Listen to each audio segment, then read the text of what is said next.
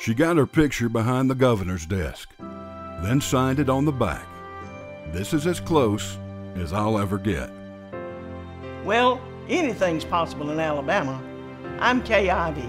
Record investments in our schools, cleaning up government corruption, and 16,000 new Alabama jobs.